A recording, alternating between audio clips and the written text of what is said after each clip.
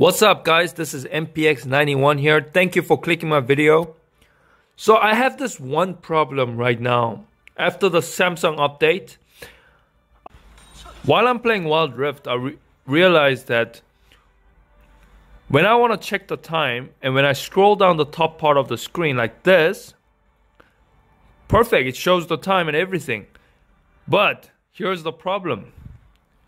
This thing is not going away.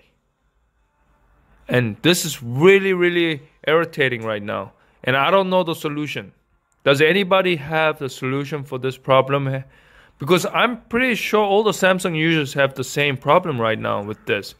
And you know that while you're playing the um, competitive mode, especially, and this happens, it's really, really annoying. It, it, it's covering up the screen, top part of the screen. Though, can you see the map?